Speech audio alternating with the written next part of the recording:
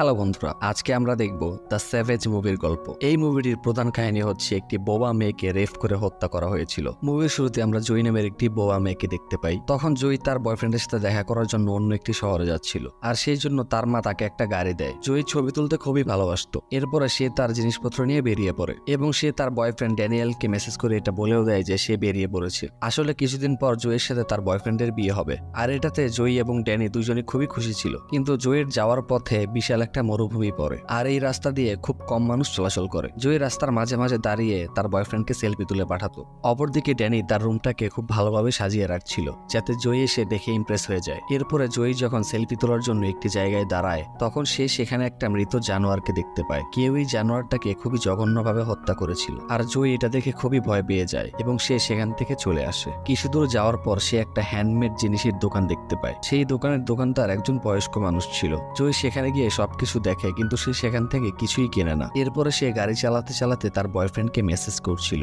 কিন্তু ঠিক সেই সময় তার সামনে একটা আদমরা মানুষ চলে আসে, আর সেটা দেখে জয়ী তার গাড়িটাকে ফুটপাতে নামিয়ে দেয়। সেই গাড়ির বাইরে দেখে যে কয়েকজন মানুষ এমন একজনকে মারার জন্য তারা করছে, আর সেই মানুষটাকে তারা গাড়ি চাপা দিয়ে মেরেও দেয়। আর এটা দেখে সেখানে জয়ী খুবই ভয় পেয়ে যায়, আর রাস্তায় পড়ে থাকা সেই মানুষটিকে তার গাড়িতে তুলে নিয়ে সে সেখান থেকে পালাতে যায়। কিন্তু সেই বদমাইশ লোকগুলো এসে জয়ীকে ধরে ফেলে। তাদের গ্যাংয়ের লিডারের নাম ছিল টেরি। তারা জয়ের চোখের সামনে সেই লোকটিকে সেখানে মেরে ফেলে। তারপর তারা জয়ের গায়ে হাত দেওয়ার চেষ্টা করে। তাই জয় সেখান থেকে দৌড়ে দৌড়ে পালিয়ে যাচ্ছিল। কিন্তু তখন টেরি জয়ের পায়ে গুলি কেড়ে দেয়। আর তাই জয় সেখান থেকে পালাতে পারে না। তারা জয়ীকে নিয়ে গিয়ে একটা রুমের ভিতর বেঁধে রাখে। আর তার হাত পা কাটা তার দিয়ে বেঁধে রাখে, যাতে সে তার বাঁধনটা খুলতে না পারে। এরপরে তারা সবাই মিলে জয়ের উপর অত্যাচার করতে শুরু করে। তখন আরও কিছু মানুষ এসে সেখানে তাদের সাথে যোগ দেয়। আর সবাই মিলে সেখানে একের পর এক জয়ীকে রেফ করে। জয় যেহেতু বোবা ছিল, তাই সে চিৎকার করা ছাড়া আর কিছুই বলতে পারছিল না। তারা সবাই মিলে সেখানে অনেকক্ষণ ধরেই জয়ীকে রেপ করে। অপরদিকে জয়ের বয়ফ্রেন্ড ড্যানি খুবই চিন্তা করছিল,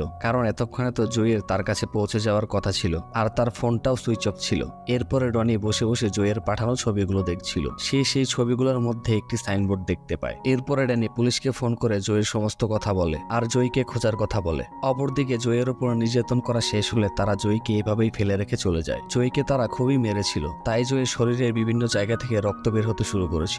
জয়ের এখান থেকে বাঁচার কোনো রাস্তাই ছিল না। তাই সে শুয়ে শুয়ে তার বয়ফ্রেন্ডের সাথে কাটানো মুহূর্তগুলো চিন্তা করতে থাকে। নাম টেরিস। এই দিকে আমরা দেখি সেই গ্যাংয়ের একটা লোক, যার নাম ওয়েস্ট। সে টেরিকে বলে যে, আমরা অনেক মজা তো করলাম, কিন্তু এখন এই মেয়েটাকে মেরে ফেলা উচিত। তখন টেরি বলে, মাত্রই তো শুরু করলাম, আমার এখনও মন ভরেনি। এটা বলে গিয়ে টেরি আবার জয়ীকে রেফ করে। জয়ের শরীরে যেই সব জায়গা থেকে রক্ত বের হচ্ছিল, টেরি সেই সব জায়গায় অ্যালকোহল ঢেলে দেয়। তখন জয়ী যন্ত্রণায় চিৎকার করছিল। এরপরে টেরি জয়কে অনেকগুলো মরা মানুষের কঙ্কাল দেখায় আর বলে যে, এই সবাইকেই আমরা হত্যা করেছি। আর কিছুদিন পর এখানে তোমার মাথাটাও যোগ হবে এটা শুনে জয়ী খুবই ভয় পেয়ে যায়। এইভাবে তারা কয়েকদিন ধরেই জয়ের উপর অত্যাচার করছিল। একদিন জয়ী তার মনের জোর শক্ত করে। আর সে ঠিক করে যে, যেভাবেই হোক, সে এখান থেকে বের হবেই তাই সে তার হাতগুলোকে কাটা তার থেকে টেনে বের করে। আর এটা করাতে তার হাতগুলো খুবই জঘন্যভাবে কেটে যায়। এরপরে সে ওই রুম থেকে বেরিয়ে পালিয়ে যাচ্ছিল। তখন ওয়েস্ট জয়ীকে দেখে ফেলে। জয়ের অবস্থা এতটাই খারাপ ছিল যে সে ঠিক মতো হাঁটতেই পারছিল না। তাই ওয়েস্ট গিয়ে তাকে ধরে ফেলে আর তার পিঠে ছুরি মেরে দেয়।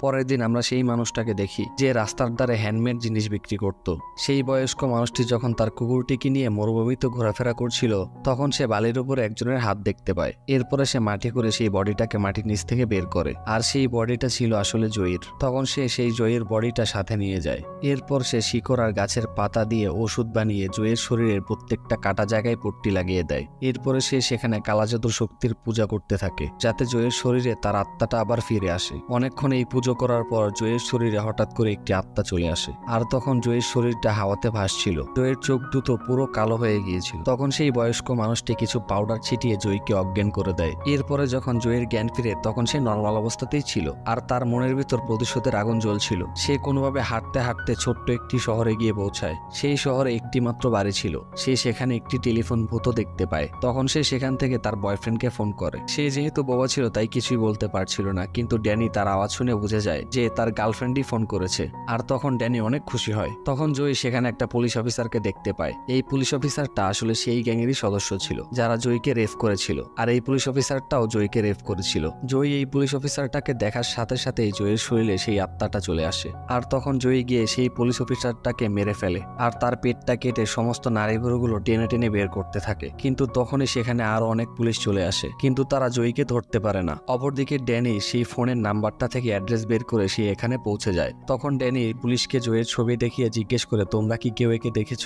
আর তখন টেরি এটা জানতে পারে যে এই ছেলেটা জয়ের খোঁজ করছে। এরপরে টেরি সবাইকে সাথে নিয়ে সেই জায়গাটায় যায়, যেখানে তারা জয়ীকে মাটি দিয়েছিল। তখন তারা দেখতে পায় যে জয়ের বডিটা সেখানে নেই। আর তারা বুঝতে পারে যে জয়ী এখনও মারা যায়নি। আর জয়ী সেই পুলিশ অফিসারটাকে সেখানে মেরেছে। এইদিকে জয়ী টেরির গ্যাংয়ের একটা ছেলেকে তীর মেরে হত্যা করেছে। সেদিন রাতে জয়ী দেখে যে তার শরীরটা আস্তে আস্তে পচতে শুরু করেছে। আর তার শরীরের কাটা জায়গাতে পোকা জমে গেছে। আর এইসব কিছু দেখে সে সেই বয়স্ক মানুষটার কাছে যায়। সেখানে গিয়ে সে জিজ্ঞেস করে, আমার সাথে এইসব কি হচ্ছে? তখন বয়স্ক লোকটা জয়ীকে বলে, আমি যখন তোমাকে পেয়েছিলাম, তখন তুমি মারা গিয়েছিলে। আর আমি কালো জাদুর মাধ্যমে তোমার শরীরে তোমার আত্মাটাকে প্রবেশ করিয়েছি। কিন্তু ঠিক তখনই তোমার শরীরে আরও একটা আত্মা ঢুকে পড়েছে, যাকে সেই ছেলেগুলো মেরেছিল। সেই আত্মাটা তোমার শরীরের সাহায্যে তার মৃত্যুর প্রতিশোধ নিতে চায়। কিন্তু একটা কথা সবসময় মনে রাখবে, তুমি এখন আর বেঁচে নেই। তোমার শরীরটা খুব তাড়াতাড়ি পচে যাবে, তাই তোমার হাতে সময় খুবই কম আছে। যা করার তাড়াতাড়ি করো। অপরদিকে ড্যানি জানতে পারে যে ড্যানি হলো জুইয়ের বয়ফ্রেন্ড, তাই তারা ড্যানিকে কিডন্যাপ করে, যাতে তারা ড্যানির সাহায্যে জয়কে ধরতে পারে। তখন জয় সেখানে এসে এক এক করে সবাইকেই মেরে ফেলে। শেষের সিনে টেরির সাথে জুইয়ের খুবই লড়াই হয়। আর তখন জুই টেরির গলা কেটে টিটালিকে হত্যা করে। এই লড়াইয়ে জয়ের অবস্থাও খুবই খারাপ হয়ে গিয়েছিল। এরপরে সে পুরো ঘটনাটি তার বয়ফ্রেন্ডকে বলে। আর এটা শুনে তার বয়ফ্রেন্ড খুবই কষ্ট পায়। আর তখন জয়ী তার বয়ফ্রেন্ডকে ইশারায় বলে, প্লিজ আমার বডিটাকে জ্বালিয়ে দাও। তখন ড্যানিও জুয়ের বডিটাকে জ্বালিয়ে দেয়। তখন জুয়ের বডি থেকে দুটি আত্মা বেরিয়ে উড়ে চলে যায়। আর এই মুভিটি এখানেই শেষ হয়।